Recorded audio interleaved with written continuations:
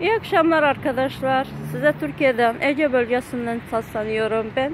Milli Meneviyet Gazetesi'nin Türkiye temsilcisi Gülnare Çırnalı Bilbay. Dünyanın sardığı kimi virüs Türkiye'nin de sarmış durumda.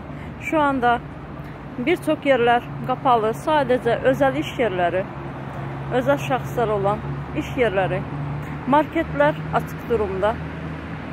Saat bak 7 olmamasına rağmen şu anda her taraf boş. Gördüğünüz gibi parkta kimse yok.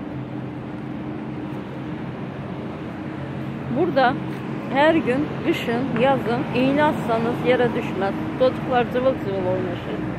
İnsanlar yer bulamaz oturmaya, çay kahve içmeye, dinlemeye gelir insanlar. Ama maalesef virüs nedeniyle her taraf kapalı.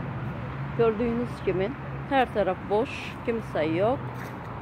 İnsanlar evlerine çekilmiş, kendilerine tedbir nedeniyle garanti almış durumdalar evde. Sadece dışarıda çalışan insanlar görebiliyoruz. Onlar da işten çıkmış şu anda evlerine akışmışlar. Marketler çalışıyor. Sabah 9'da açılıyor. Akşam 9'da kapanıyor. Marketlere 10 kişiden fazla kişi almıyorlar ve aralarına mesafe koyulmuş. E, bankalar da aynı durumda. E, yaşlılarımız evde oturmak kararı aldılar. Hepsi evde.